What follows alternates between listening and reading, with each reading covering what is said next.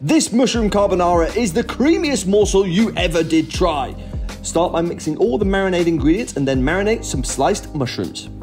Next, blend soaked cashews with the sauce ingredients until smooth and creamy.